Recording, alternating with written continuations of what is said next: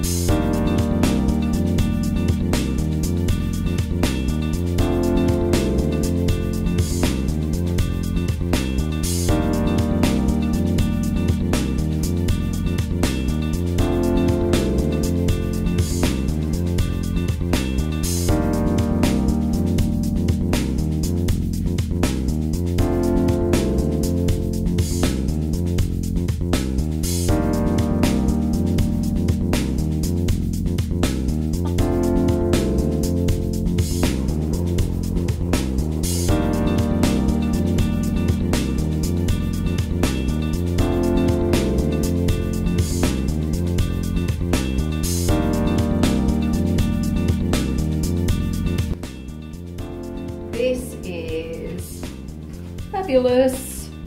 I love it. Besides the fact besides the fact it's my favorite colors to work with.